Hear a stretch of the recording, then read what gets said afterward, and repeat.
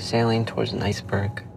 This little white peak in the distance getting closer and closer. But really, it's been underneath us the whole time. It's nothing worse than a kid. We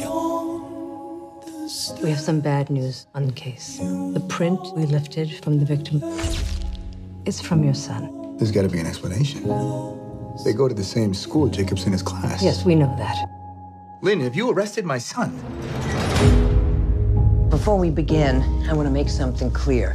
A kid your age charged with first degree murder is tried as an adult. I swear I didn't do it. We believe you.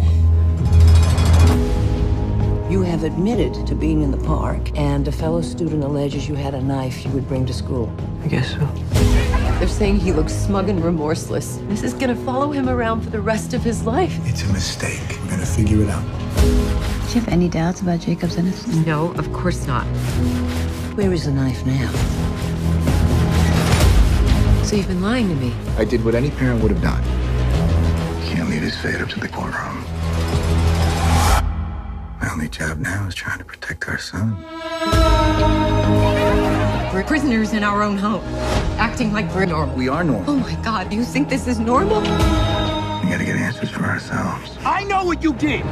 Lawyers have boundaries. I don't, not anymore. Remember that in their eyes, it isn't just Jacob who's guilty. You all are. Did you follow me here? This is damaging. This is evidence. You're scaring him. Good. He should be scared. I'm scared. So I have to know. I want the truth. You can be a good man, or you can be a good father. There was no normal to go back to.